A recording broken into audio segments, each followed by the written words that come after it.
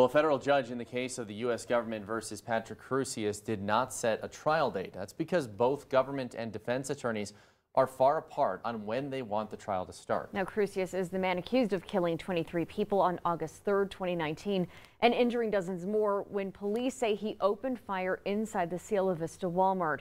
ABC 7's Saul Saenz was inside the courtroom today when attorneys argued when they believe the trial should start. Patrick Crusius waived his right to appear in court today, so we want to show you video of the last time he was in court. This was October of 2019, more than two years ago.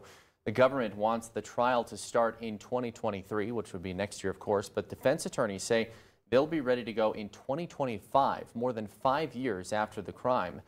Federal Judge David Guaderrama says he is reluctant to set a court date before knowing if this case is a death penalty case, which the federal government has not officially declared if they'll pursue the death penalty. As for the defense, they say they have an enormous amount of evidence and discovery they have to go through in order to properly defend Crusius. The question right now on everyone's mind is why you want a trial date of 2025. Well, if you were in the courtroom, you heard why. There's an enormous amount of work that needs to be done so we can be prepared.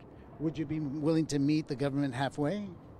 Well, it's not a question about meeting them halfway. It's about making sure that we're constitutionally prepared to try the case so that it doesn't get to be tried again. So we can bring judicial finality to the community as well as make sure that Patrick's rights are constitutionally protected.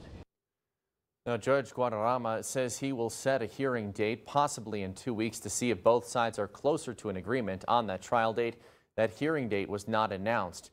Now, Saul asked Joe Spencer, who you just heard from there, the defense attorney, if he has met with Crusius and asked what his demeanor is. He says he has met with him, but did not want to disclose that information.